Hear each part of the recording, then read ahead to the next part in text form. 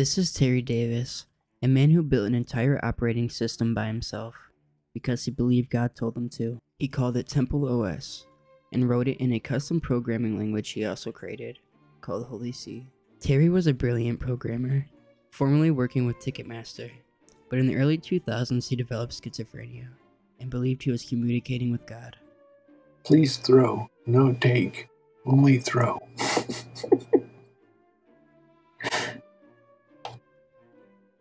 Temple OS was designed with 16 bit color, 640 by 480 resolution, and no internet access, because Terry believed God commanded those specs. He documented everything, spoke openly online, and live streamed his coding sessions, but he was also known for his erratic behavior, often clashing with people online. You banned me from Twitter. God bans you from heaven. you put me in jail. God puts you in hell.